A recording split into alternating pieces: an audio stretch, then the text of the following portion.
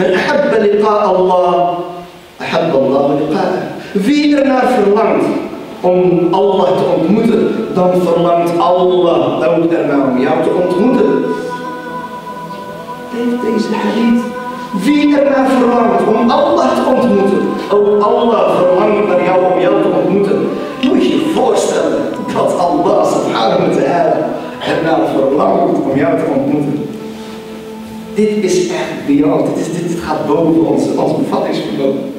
Dit is, dit je, kan eigenlijk, moet je nu gewoon stoppen met God, waar gewoon binnen naar huis gaan en, en alleen maar Stel je voor dat Allah nu boven de zeven hemel op zijn troon, op zijn machtige grote troon en hij die oneindig groot is, jij die zo klein, nietig, niks, niks voorstellend stofje in dit hele universum, er is iemand daar die, op, die, die ernaar verlangt om jou te ontmoeten.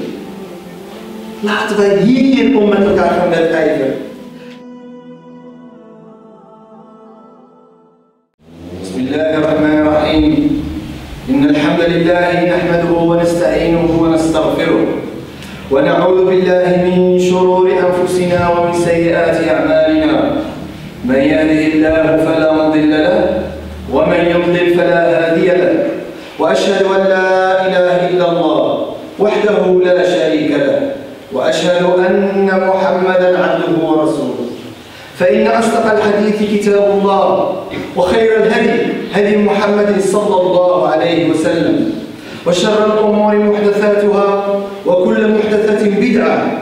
وكل بدعة ضلالة وكل ضلالة في النار.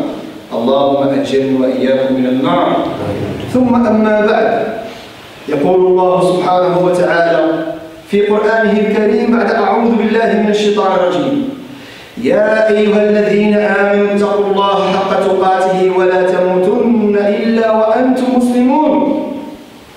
يا أيها الناس يا أيها الناس اتقوا ربكم. الذي خلقكم من نفس واحدة وخلق منها زوجها وبث منهما رجالا كثيرا ونساء واتقوا الله الذي تساءلون به والأرحام. إن الله كان عليكم رقيبا. يا أيها الذين آمنوا اتقوا الله وقولوا قولا سديدا. يصلح لكم أعمالكم ويغفر لكم ذنوبكم. ومن يطع الله ورسوله فقد فاز فوزا عظيما. Geliefde broeders en zusters, geliefde broeders en zusters, ja eeuwige moslimun, ja eeuwige mu'minun. We gaan het vandaag hebben, inshallah, een onderwerp die enorm belangrijk is. En dat zijn in principe alle onderwerpen. Maar deze, dit onderwerp is, heeft een bepaalde, ja, wat zal ik zeggen, heeft een bepaalde inhoud die van jou verwacht dat jij op een gegeven moment hiermee aan de slag gaat. Samen met jouw broeder of zuster in de islam. Samen met jouw broeder of zuster in de mensheid. Samen met jouw broeder en zuster die in deze, in dit, in dit mooie land, in ons mooie land, in onze mooie maatschappij wonen. En het gaat om het wedijveren met elkaar in het doen van het goede.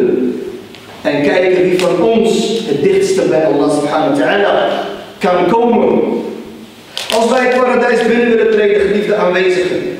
Als wij de tevredenheid van Allah subhanahu wa ta'ala willen hebben, dan is het van belang dat wij om te beginnen ons geloof versterken. En dat wij inshallah daarbij de goede daden doen die behoren gedaan te worden.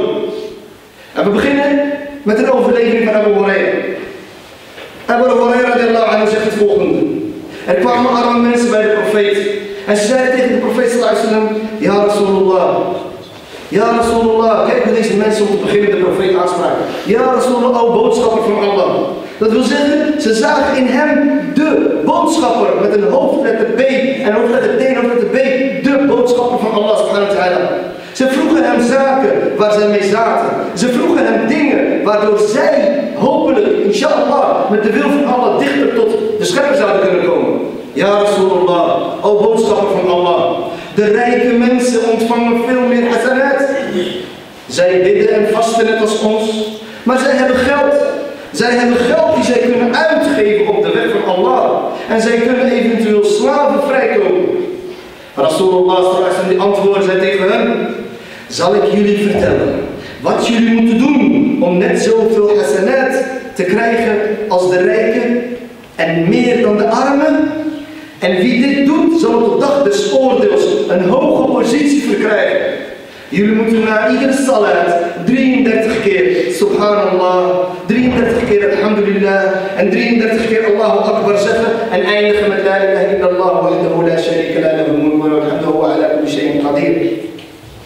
Deze hadith, wat wij hier uithalen, is natuurlijk dat wij na elk gebed, subhanallah, alhamdulillah, la ilaha illallah, akbar, subhanallah, alhamdulillah, Allahu akbar, dat we dat 33 keer zeggen. Dat we eindigen met la ilaha illallah.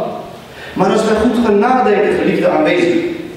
Als wij goed gaan nadenken, dan zullen wij natuurlijk, wanneer we dit in de praktijk gaan uitvoeren, wanneer wij na elk gebed, subhanallah, alhamdulillah, Allah akbar, subhanallah, alhamdulillah, Allah akbar, 33 keer zeggen. En wij eindigen met la ilaha illallah, dan zullen wij, zoals de profeet sallallahu zegt, dan krijgen we enorm veel hasanat en dan zullen we een hoge positie van Allah verkrijgen. Maar, dit is, nee, als we verder gaan kijken, dan zien we dat dit een overlevering is. Naast het vele voordeel die hij ons geeft, is het, is het een waarschuwing van de profeet waar wij veel aan zullen hebben. In deze overlevering zien wij ook een bewijs hoe de metgezellen met de profeet omgingen. Hoe hun gedrag was. Zij werden door de profeet als het ware opgevoed om met elkaar te wedijveren om het goede te doen. Ze gingen als het ware wedstrijden houden met elkaar wie dit Allah kon geraken door middel van het doen van goede daden. Zij zagen dat andere mensen meer konden doen in de islam en meer goede daden konden verkrijgen. Dus wat deden zij? Ze renden naar de profeet en zeiden wij willen ook de goede daden. Wij kunnen het niet. En zij kregen van hem een tip. Doe dit en doe dat en doe zus en doe zo. Zij wilden, toen ze zagen dat andere mensen dus meer hasanat verdienden en meer goede daden verrichten, wilden zij dat ook. Waar zijn de mensen van tegenwoordig die zichzelf optrekken aan een ander? Waar zijn de broeders en zusters die bijvoorbeeld wanneer zij zien dat een ander, dat ene het goede verricht, dat zij denken van ik wil dat ook. Zo gingen de sahaba met elkaar om. Wanneer de ene een goede daad verrichtte, wilde de ander niet achterblijven. En wanneer er eentje op de een of andere manier zag dat hij een goede daad graag wilde doen, maar het niet kon, ging hij meteen naar de profeet en zei tegen hem, ja wat moet ik doen? Ik wil ook. Waar zijn deze broeders en zusters die elkaar op deze manier aansporen? Waar zijn ze? En ik zou je zeggen, ze zijn er wel. Maar helaas, en dat moeten we elke keer weer zeggen, zijn de meeste mensen daartoe nog niet in staat. Allah subhanahu wa ta'ala heeft ons nog niet de tofik gegeven. Allah subhanahu wa ta'ala heeft ons nog niet die uitweg gegeven, zodat wij ook op deze manier met elkaar kunnen gaan wedijveren om het goede te doen. Ilaha illallah. Dus deze arme mensen die zagen dat de rijke mensen wel in staat waren om een beloning te ontvangen met sadaqa. Wilden zij dit ook en ze gingen bij de profeet hierover klagen. Allah zegt hierover. يسقون من رحيق مختوم ختامه مسك وفي ذلك فليتنافس المتنافسون Allah zegt hier, hun wordt verzegeld, drinken ingeschonken. Het drinken die nu in het paradijs is, die nu op ons aan het wachten is, die verzegeld is. die gaat pas open wanneer die drankje die voor jou bestemd is, die nu aan het wachten is op jou, dat jij daarvan gaat drinken, dan pas wordt die geopend speciaal voor jou. Vers, vers helemaal verzegeld voor jou. Voor hun wordt verzegeld drinken ingeschonken. En dat zegel is van musk, waarvan het zegel van muskus is. En daar hier komt het. En laten de wedijveraars hierom dan wij wedijveren. Laten de mensen die elkaar, dat ze hierom wedstrijden gaan houden met elkaar. Wie wil de hoogste Jannah van ons? Wie is in staat om dingen te verrichten die anderen niet kunnen? Wie is dadelijk de winnaar? Wie pakt de beker in het paradijs als nummer 1? Degene die het meeste daden heeft verricht. Zie jij jouw broeder of zuster twee rakaat na gebed verrichten? Dan moet je niet achterblijven. Dan moet jij dat ook doen. En natuurlijk niks moet. Alles mag. Maar degenen die natuurlijk slim zijn, degenen die een hoge positie bij Allah subhanahu wa ta'ala willen verkrijgen, degenen die weten waar het om gaat, degenen die hun hersenen gebruiken, degenen die als het ware het doel van het leven kennen, erkennen en ondervinden en weten waarvoor ze hier leven, die zullen een soort van wedijveren, zullen met elkaar wedijveren om het goede te doen.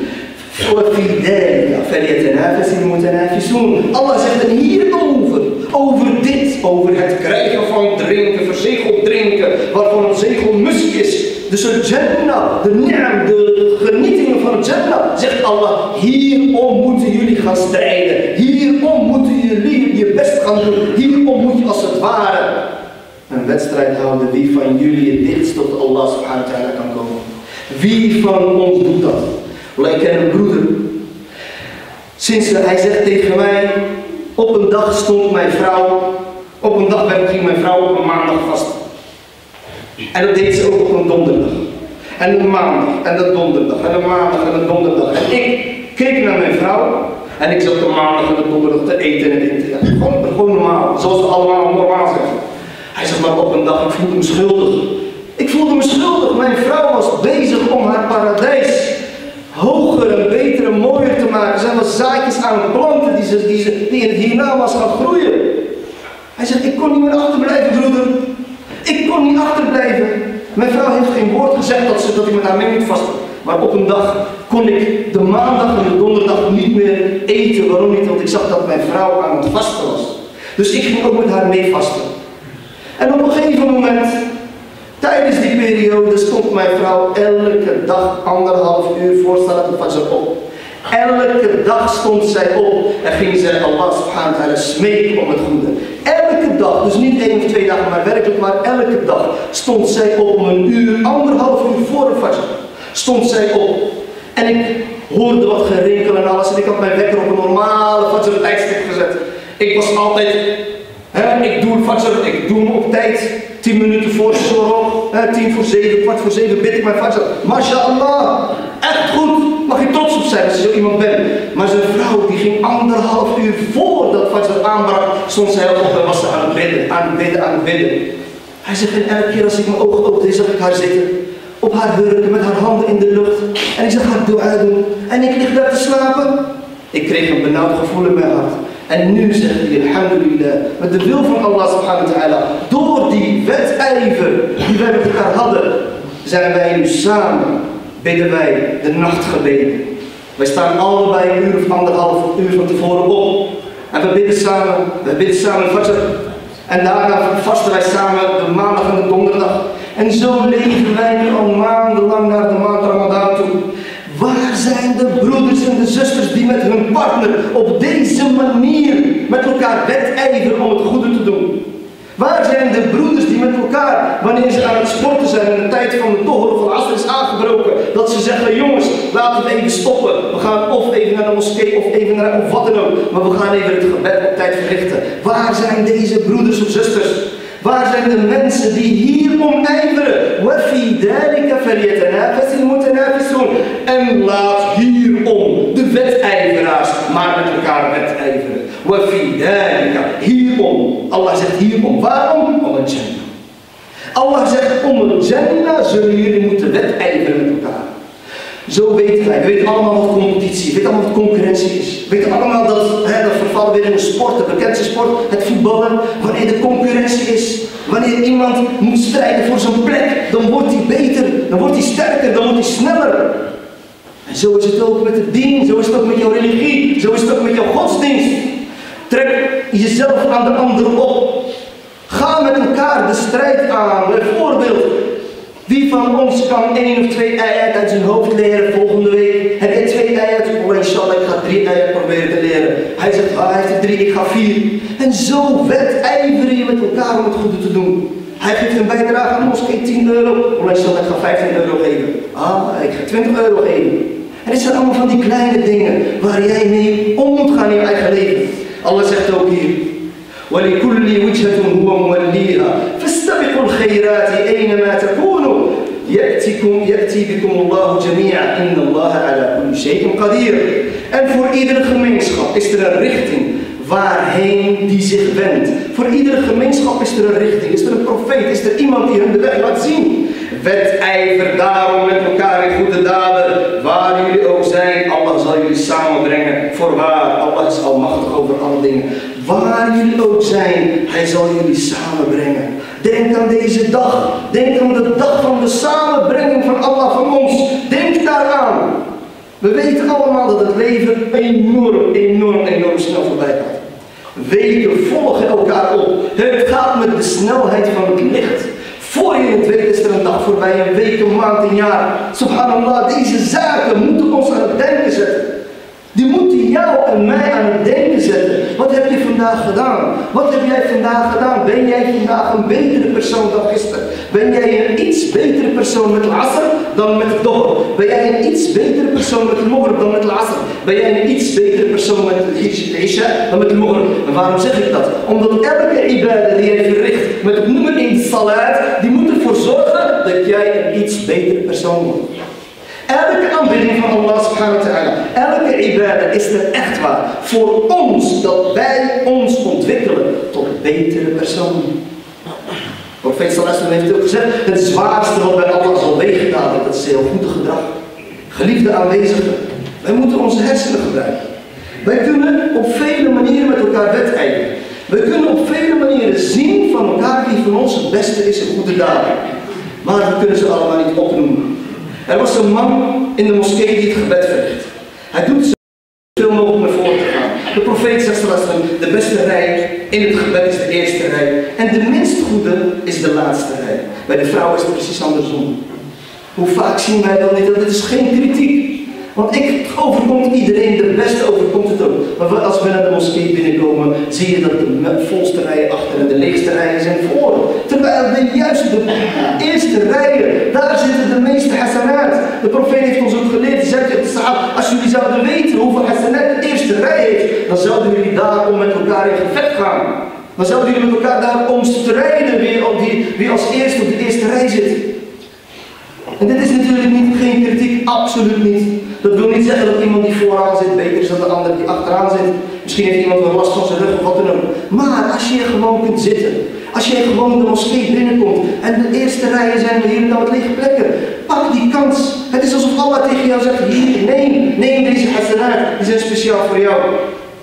Geliefde broeders en zusters, het leven hier op aarde is enkel en alleen maar mooi wanneer wij die volledig gebruiken om ons voor te bereiden op de ontmoeting met Allah subhanahu wa ta'ala. Is alleen maar mooi wanneer wij ernaar verlangen om onze Heer te ontmoeten. Men ahabba liqa Allah, ahabba Allah liqa. Wie ernaar verlangt om Allah te ontmoeten, dan verlangt Allah ook ernaar om jou te ontmoeten. Leef deze hadith wie er naar verlangt om Allah te ontmoeten, ook Allah verlangt naar jou om jou te ontmoeten. Moet je je voorstellen dat Allah subhanahu wa ta'ala er naar verlangt om jou te ontmoeten. Dit is echt beyond, dit, is, dit, gaat boven ons, ons bevattingsvermogen. Dit is, dit je kan eigenlijk, moet je nu gewoon stoppen met God, maar gewoon binnen naar huis gaan en, en alleen maar Stel je voor dat Allah nu boven de zeven hemel op zijn troon, op zijn machtige grote troon en hij die oneindig groot is, jij die zo piepklein, nietig, niks, niks voorstellend stofje in dit hele universum, Er is iemand daar die op die dingen verlangt om jou te ontmoeten. Laten wij hier om met elkaar gaan wedijveren. وسارعوا إلى مغفرة من ربكم وجنة عرضها السماوات والأرض أعدت للمتقين الله زخير and ask you enough for having for you here do your best om vergeving te krijgen van jullie Heer. Vergiffenis krijg je door goede daden te verrichten. Vergiffenis krijg je door dua te doen. Vergiffenis krijg je door aan Allah subhanahu wa ta'ala te denken. Zegt Allah hier, وسارعوا إلى مغفرة من ربكم haast jullie naar vergeving van wie? Van jullie Heer. En wat komt er na die vergiffenis? Wat komt er wanneer jij die vergeving hebt bereikt? وَجَنَّةٍ عَرْضُهَا السَّمَاوَاتُ وَالْأَرْضُ أُعِدَّتْ لِلْمُتَّقِينَ Allah zegt hier, haast jullie naar de vergeving van jullie Heer. Laat geen tijd voorbij gaan, geliefde aanwezigen. Grijp elk moment aan wanneer jij Allah subhanahu wa ta'ala vergiffenis kan vragen. Bid twee rak'at als je daar zin in hebt. Laat niet zeggen, dat doe ik straks, want straks is misschien niet meer. Straks is misschien wel de wereld vergaan. Of straks heb jij geen zin meer. Of straks ben je lui of wat dan ook. Straks word je gebeld en doe je het niet meer. Hoe vaak weten wij allemaal dat jij wel eens bij jezelf denkt, ik ga Koran lezen. En je bent echt op dat moment van plan, je loopt naar de Koran, je de telefoon gaat weg Koran en je zit op een gegeven moment een half uur te praten met iemand. Het is alsof je bijna zou zeggen, de shaitaan heeft deze persoon jou laten bellen. Dat is natuurlijk niet zo. Deze persoon die belt jou gewoon. Maar haal dat stukje dan in. Dat stukje dat jij de Koran wilde lezen, dat je de dua wilde verrichten, dat je de twee uit wilde bidden. Toen het er niet van kwam, neem jezelf dan voor om het een andere keer te doen. En als jij dit oprecht de bedoeling was voor jou om te lezen, dan zal Allah subhanahu wa voor jou geschreven hebben dat je leest. Dus wat deden de metgezellen vaak? Zij gingen uit zichzelf denken van, morgen ga ik dit doen en ik ga dat doen en ik ga dat doen en ze meenden het. Dus staat er voor hun geschreven dat ze het al gedaan hebben. Maar in de praktijk kwam het er misschien niet van. Maar het staat wel geschreven. Dus jouw intentie is hierin enorm belangrijk. En haast jullie. Dus niet gaan, maar haast jullie naar, jullie, naar vergeving van jullie Heer. En naar het paradijs, zegt Allah. En hoe is deze paradijs? Hoe is dit paradijs? Zegt Allah hier dat net zo wijd is als de hemel en de aarde. Voor wie gereed gemaakt voor de Godvrezenden. Gereed gemaakt voor jou. Ja, voor jou. Jij die nu hier zit. Jij die nu luistert, alhamdulillah, naar deze khutbah. Voor jou heeft Allah subhanahu wa ta'ala het paradijs gereed gemaakt. Hij heeft hem gereed gemaakt. Hij heeft als het ware de opdracht gegeven aan het paradijs. Jij moet jezelf nu gaan klaarmaken. Maak jezelf maar klaar en klaar en klaar en klaar. Voor wie? Voor jou. Kun je je voorstellen, jij terug, dat nietige, niks betekenende stofje in het universum. Iemand daarboven onze Heer, oneindig groot, onvoorstelbaar groot, almachtig, zegt tegen het paradijs dat het paradijs zich klaar moet maken voor jou. Subhanallah. Wat moet je hier nou wel niet van denken? Hoe moet je nu in het leven gaan staan? Sta je nu in het leven achterloos en niet nadenkend en je trekt er niks van aan, je gaat dadelijk weer, je vervalt weer in je oude ritme? Of ga je nu in het leven staan dat jij nu waarde gaat geven aan jouw salawat? Waarde gaat geven aan jouw vijf dagelijkse gebeden. Daar is het om mee te beginnen. Waarde gaat geven aan jouw dua. Waarde gaat geven aan jouw ibadah, aan jouw aanbidding van Allah waarde gaat geven aan hetgene waar jij naar verlangt. خليفة تقع الله سبحانه وتعالى بيفرق مش البشر أما يفرق الله سبحانه وتعالى بتحيي مصر الله بس تخيف. يعني تحيي تخليك يعني في نعمات أقول قولي هذا وأستغفر الله لي ولكم ولسائر المسلمين والمسلمات من كل ذنب فاستغفروه إنه هو الغفور الرحيم. بسم الله الرحمن الرحيم. والحمد لله رب العالمين. والصلاة والسلام على سيدنا محمد وعلى آله وصحبه أجمعين. خليفة أمريزة فنداخكم الله يمضوه om deze God bij jullie te geven. Ik voel, ik kreeg een inspiratie en jullie weten, wij hebben, eh, degene die God die, die, die, die, die, die preek geven, wij hebben allemaal preken en die kiezen we er eentje uit. En ik dacht bij mezelf, ik ga het vandaag hierover hebben. Het, het wedijveren met elkaar in het goede is de meest geliefde daad bij Allah subhanahu wa ta'ala. En zorg dat wij dicht bij hem komen. Allah subhanahu wa ta'ala zegt hier. سابقوا إلى مغفرة مغفرة من ربكم وجنة عرضها كعرض السماء كعرض السماء والأرض. أعدت للذين آمنوا بالله ورسله. ذلك فضل الله يؤتيه من يشاء. والله ذو الفضل العظيم. هجتي نغمض ذات أيفر نار فخيف فان ذات أيفر نار المتاعب waarvan de breedte is als de breedte van de hemel en de aarde die voorbereid is voor degene die in Allah en zijn boodschappen geloven Weer terug. Net in die andere eieren was de Jannah al, dit paradijs zo breed en zo groot als het is, al voorbereid. Voor jou, nogmaals zegt hier Allah subhanahu wa ta'ala, hij is voorbereid voor degene die in Allah en zijn boodschappen geloven. Die in Allah en zijn boodschappen geloven. Jij gelooft in Allah en zijn boodschappen. Jij gelooft daarin. Dus deze ayah, dit vers, moet jou blij maken.